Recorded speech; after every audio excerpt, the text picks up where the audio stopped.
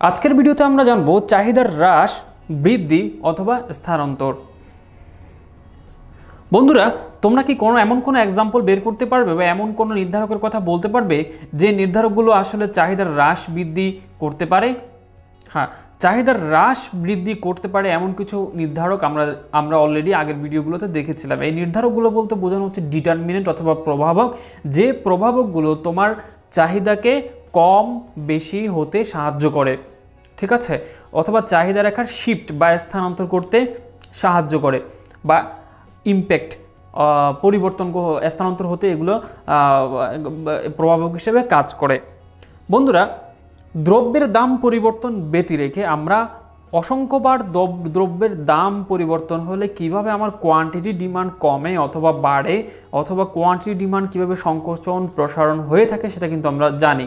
কাজে আমরা এই ভিডিওতে, এই লেকচারে আমরা দ্রব্যের দাম পরিবর্তন এই বিষয়টিকে আনব না, আমরা দ্রব্যের দাম পরিবর্তনের বিষয়টিকে আমরা স্থগিত রাখব বা অপরিবর্তিত রাখব।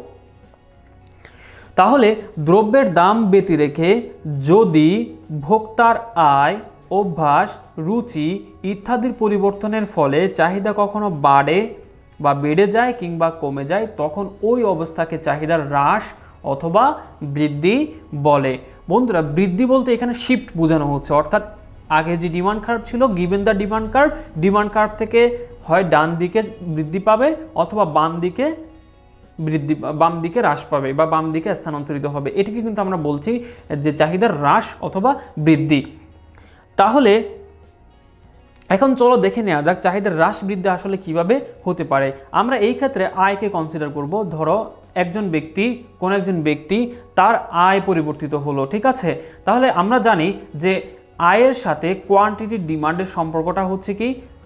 ওয়াই মানে হচ্ছে আয় বা ইনকাম এই, এটার সম্পর্কটা হচ্ছে কি? রিলেশনশিপটা হচ্ছে পজিটিভ রিলেশনশিপ অর্থাৎ আয় যদি বাড়ে, তাহলে কোয়ান্টিটি ডিমান্ড কমে না বাড়ে? অবশ্যই এটি হবে না। এই ক্ষেত্রে হচ্ছে আমাদের আয় যদি বাড়ে, তাহলে কোয়ান্টিটি ডিমান্ড বাড়বে। অপরদিকে আয় যদি কমে কোয়ান্টিটি ডিমান্ড ফল করবে। ঠিক আছে? এটা কিন্তু রিয়েল লাইফ এক্সাম্পল আমরা কিন্তু রিয়েল লাইফে অনেক কিছুই দেখে থাকি এই নিয়ে। আবার অন্য ক্ষেত্রে কিন্তু অন্যরকমও হতে পারে। যেমন যদি কোনো দ্রব্য যদি নিকৃষ্ট দ্রব্য হয়, তোমরা জানো যে নিকৃষ্ট দ্রব্য কি? নিকৃষ্ট দ্রব্যের ক্ষেত্রে নিকৃষ্ট দ্রব্য। এখন নিকৃষ্ট দ্রব্য আসলে কোনগুলো? নিকৃষ্ট দ্রব্য হচ্ছে তোমার ইনকাম বাড়ার সাথে সাথে যে দ্রব্যগুলোর কনজামশন তুমি কমিয়ে দাও। অর্থাৎ ধরো মোটা চাল এবং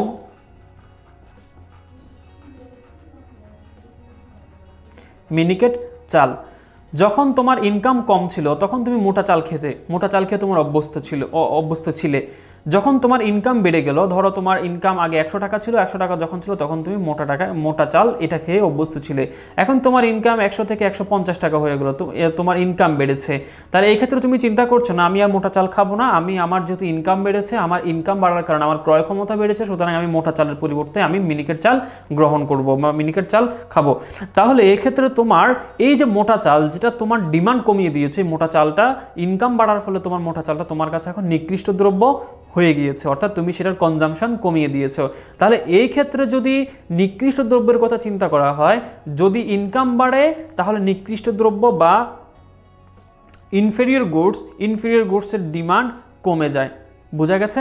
তাহলে যদি সেটা, তাহলে ইনকাম যদি বাড়ে, তাহলে quantity demand for inferior goods decreased in other sense অন্য ক্ষেত্রে যদি আমরা ইনফেরিয়র গুডসের কথা চিন্তা না করি, তাহলে যদি ইনকাম বাড়ে বা বিলাসজাত দ্রব্যের কথা যদি চিন্তা করি, তাহলে যদি তোমার ইনকাম বাড়ে, তাহলে সেক্ষেত্রে বিলাসজাত দ্রব্যের কোয়ান্টিটি ডিমান্ড বেড়ে যায়। In general for the simplicity আমরা বলি যদি ইনকাম বাড়ে কোয়ান্টিটি ডিমান্ড বাড়ে, ঠিক আছে? তাহলে সেই ক্ষেত্রে কী হবে? চাহিদার বৃদ্ধি হবে।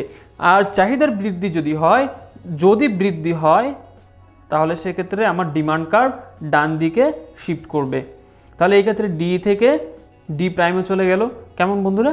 এই ক্ষেত্রে ডিমান্ড কার্ভ ডান দিকে শিফট করবে। অপরদিকে যে যে নিকৃষ্ট দ্রব্যের কথা বললাম, এই ক্ষেত্রে কি হয়েছে? আমার ইনকাম বেড়েছে সো নিকৃষ্ট দ্রব্যে কী হবে? ডিমান্ড হ্রাস করবে। তাহলে এই আরও একটি ফ্যাক্টর যে ফ্যাক্টরটির কারণে হতে, আমার কি হতে পারে? আমার যে চাহিদার হ্রাস হতে পারে। অর্থাৎ আগে যখন আমি যখন আমি মোটা চাল খেতাম, মোটা চালের জন্য আমার ডিমান্ড ছিল এটি। এখন আমার মোটা চাল আমি খাই না, অর্থাৎ মোটা চাল আমার কাছে আমার পছন্দ আমি এখন মিনিকেট চাল ভক্ষণ করি বা মিনিকেট চাল খাই, সেই ক্ষেত্রে আমার মোটা চালের যে ডিমান্ড, সেটি আমার হ্রাস হয়েছে। তাহলে এটিকে আমরা বলছি বৃদ্ধি, কিসের বৃদ্ধি? চাহিদার বৃদ্ধি, আর এটিকে বলছি আমরা হ্রাস। ঠিক আছে বন্ধুরা, একইভাবে তোমরা যখন অভ্যাসের কথা বলা হয়, অভ্যাসের ক্ষেত্রে তোমরা কোয়ান্টিটি ডিমান্ডের সম্পর্ক তোমরা দেখাতে পারো গ্রাফের মাধ্যমে। রুচির পরিবর্তন হলে কীভাবে তোমার কোয়ান্টিটি ডিমান্ডের হ্রাস বৃদ্ধি হতে পারে তোমরা সেটি বের করতে পারো। এগুলো খুবই সহজ একটি বিষয়। এগুলো অ্যানালিটিক্যাল বিষয়। যদি তোমার বোঝা থাকে যে রুচি যদি তোমার বাড়ে, তাহলে কোয়ান্টিটি ডিমান্ড বাড়বে। তার মানে তোমার ডিমান্ড কার্ভ ডান দিকে শিফট করবে। আর যদি রুচি তোমার কমে যায় কোনো একটি গুডসের প্রতি বা কোনো একটি কনজামশন কোনো একটি গুডস কনজিউম করার প্রতি, তাহলে তোমার সেক্ষেত্রে সেই পণ্যের যে ডিমান্ড বা সেটি কিন্তু তোমার বাম দিকে স্থানান্তরিত হবে। এভাবে তোমরা বিভিন্ন যে নির্ধারকগুলো রয়েছে, চাহিদার সেই নির্ধারকগুলো যে তোমরা বাসায় হোম, হোমওয়ার্ক করবে যে কীভাবে চাহিদার হ্রাস অথবা বৃদ্ধি হয়। আবারও বলছি, তোমাদেরকে চাহিদার হ্রাস, বৃদ্ধি এবং চাহিদা সংকোচন, প্রসারণ, সম্প্রসারণ কিন্তু সম্পূর্ণ দুটি আলাদা বিষয়। সংকোচন এবং সম্প্রসারণ হবে along the demand demand curve বা ডিমান্ড কার্ভের মধ্যে, আর হ্রাস, বৃদ্ধি হবে শিফটের মাধ্যমে, স্থানান্তরের মাধ্যমে। ধন্যবাদ সবাইকে।